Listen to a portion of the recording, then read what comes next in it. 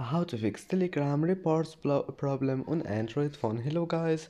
In today's video i'm gonna show you how to fix telegram reports problem on android phone first.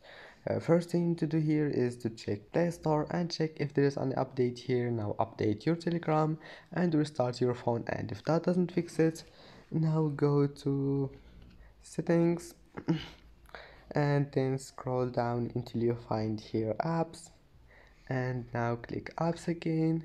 And here type telegram and click on it. And after that click storage. And then click clear cache. And now click force stop and go to data usage and check background data if you find it like that just allow it. And now restart your phone and try again and i hope that can fix your problem. And that's it for today's video. Don't forget like and see you in the next video